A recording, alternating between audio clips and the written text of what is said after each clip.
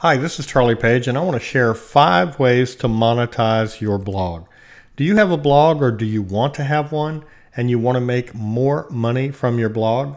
If you answered yes, here are five ways that you can monetize your blog. Doesn't matter what niche you're in or how experienced you are, these ways will work for you too. Starting today. Number one, build your list. I know you've heard this many times, many, many times before that you need a mailing list, and you do. And maybe you're doing some list building now, and I hope you are.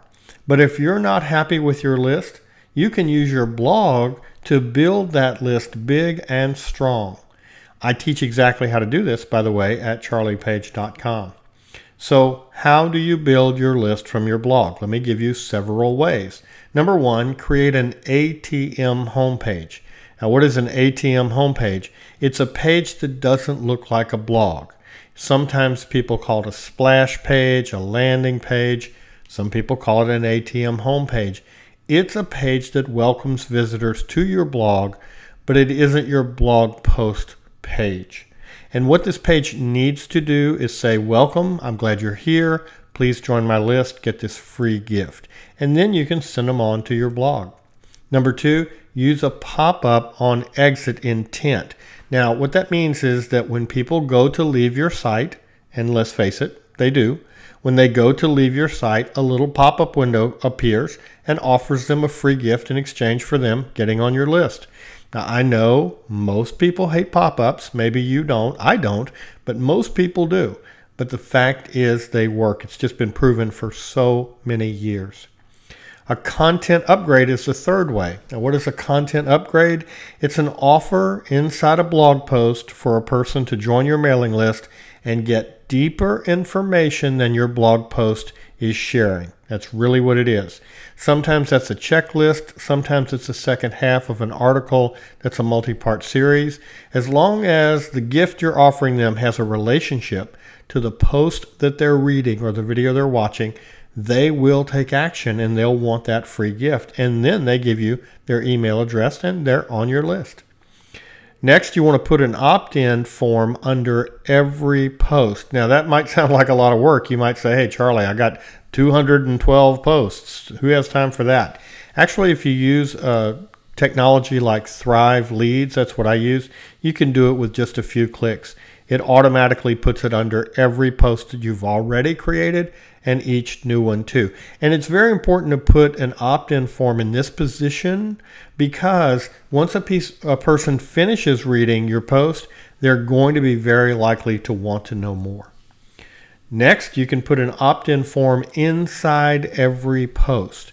Now, top websites will often have six or eight offers for a person to opt in on every blog post, six to eight.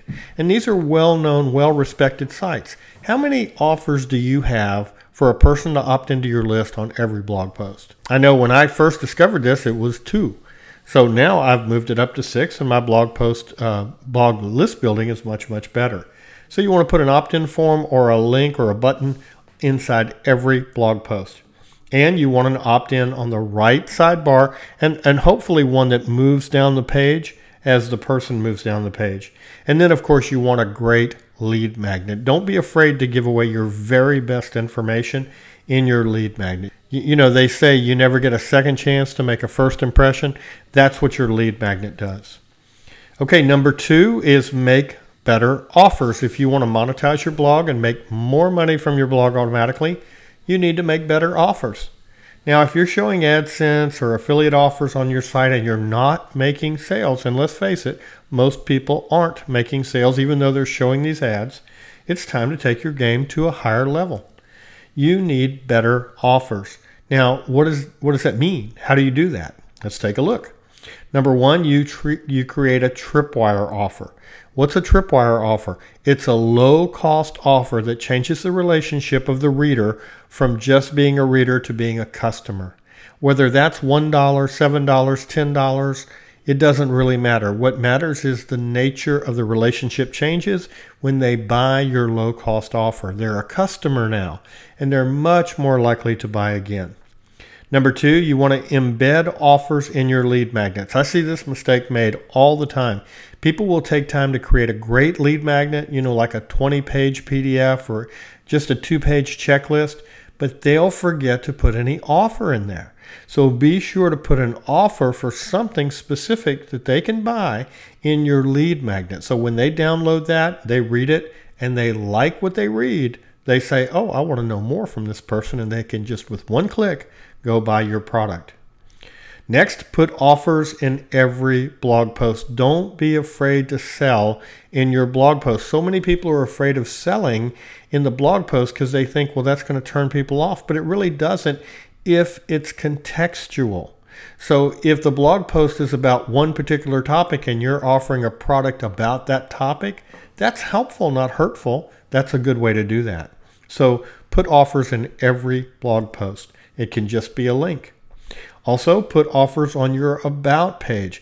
Your About page well may be your second most visited page. And here's why people want to know whose information they're reading. When they go to a blog and they see your information and they like it, they, they say, Who is this person? And so, if there's a link to your About page, which there should be, on the menu of your blog, then they'll go there and they'll check you out. We build our list from my About page tremendously ever since we started doing this. And we also make sales too. I have much more about this at charliepage.com. Number three, use ethical scarcity. So let's talk about ethical scarcity for a minute. You see scarcity used all over the place, sometimes not so ethically, right? We see that closing rates more than triple, sales rates more than triple on the last day of an offer. Why is that? It's because people procrastinate. It's human nature to procrastinate. They don't want to miss out, but they don't want to make the decision today either. So they delay the decision until it's do or die, for lack of a better term. This is natural, it's normal, it's nothing to judge them about, it's just the way life works. But you must know about it in order to take advantage of it and know how to work around it. If you want to maximize conversions, this is something you need to know about ethical scarcity. So, how do you do this?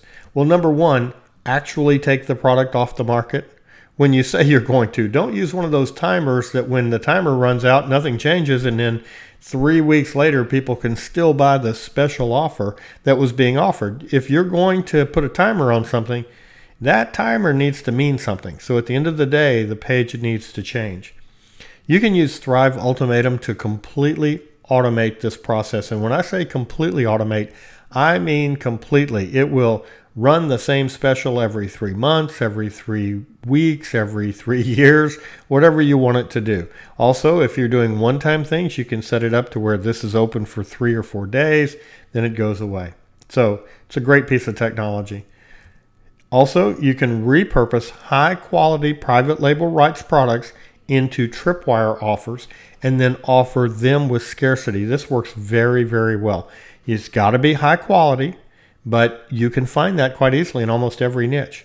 So you take this high quality private label rights product, you make it your own by editing it and by putting your name on it, and then you offer it for a couple dollars.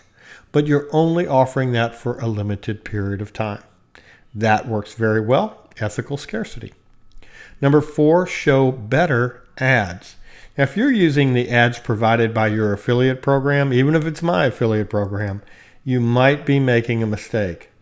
Your ads need to look like your blog. This is why no affiliate provider like myself, for example, my products come with an affiliate program, some of them. We provide the best we can affiliate tools to our people, but we can't tailor it to their blog. Everybody's blog looks different. So your ads need to look like your blog not like Times Square. More is not necessarily better, and the big flashing stuff really doesn't work. They actually confuse the visitor. So you need better ads. How do you do that? Number one, have your own ads created at Fiverr or somewhere else. I use a site called Canva, C-A-N-V-A.com, and I really love it. You can go to Fiverr and have somebody do it for just a few dollars. You want to match the colors and fonts of your blog. You don't want your ad to blend in, but you also don't want it to look like some neon billboard that really distracts attention. You want it to match your site. You want it to harmonize with your site. You want to make offers that match your blog post. So if you've got a blog post about topic A, don't offer a product for topic Z. You want to definitely take your offers and match them to your blog post. If you have a blog post about weight loss, then it's probably not a great idea to be advertising a product about how to get out of debt. Even though people who want to lose weight probably need to get out of debt too. You know, a lot of people do. It's just a mismatch. So you want to make your offers harmonize or match your blog post content. And you want to use ads to build your list and then send them to the offer. Now, if you're making a ton of money showing ads and you're getting paid per click and it's working out really great for you, then okay. Otherwise, you're going to make more money over the long run by having a person on your list and engaging with you than you are sending them off your site to some affiliate offer that's going to convert at half of 1%. So definitely, definitely focus on building your list. Number five, joint ventures. Now, one reason people preach having your own list, and I do, is that with a list you can land a joint venture quite easily. And a joint venture just means that I promote for you and you promote for me, or we work together and create a product. So that's great, and a great joint venture can change everything very quickly. But what if you don't have a list of your own yet? You do a blog joint venture. Now, here's how that works.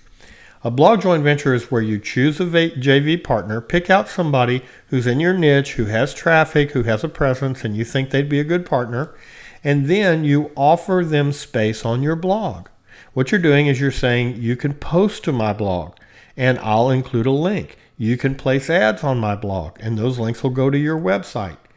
And then if you have a mailing list, you mail for them as well. So this is really a triple whammy. This is a great offer. You're saying to someone in your niche, let's be friends. Let's work together. And here's what we can do. You can post on my blog, and then you can place ads on my blog, and then I'll send to my mailing list for you, and they do the same thing in return for you. So now you're reaching a new audience, and they're reaching a new audience, and everybody wins without any money changing hands. It's a joint venture. If you have small traffic, you might be thinking to yourself, well, that sounds great, but I don't have many people coming to my blog. Give them a two for one. So if you choose a joint venture partner who's much bigger than you from a traffic standpoint, let's say they got twice as much traffic, put them on your blog twice as often. Let them be on twice as long. You can make these things work out if you try. And these individual approaches work so much better than all these services where you log in and blast out a million messages. Those don't work at all. The secret to multiple streams of internet income, and I learned this many years ago. I was very honored to be invited to participate in the book with Robert G. Allen, Multiple Streams of Internet Income. The secret to multiple streams of internet income is having small flows from many different sources, more sources than most people think. Most people think, well, if I have two or three sources of income, that's enough. I'd love to see you have 15. Start with these five and let me know how it's going. I'd love to hear from you. If you like this, you can get much more at charliepage.com. This is Charlie Page. Thank you for being here. Thanks for watching all the way to the end, and I hope you have a great day. Please share this video if you have a moment. There's a sharing button near. Thanks. Have a great day.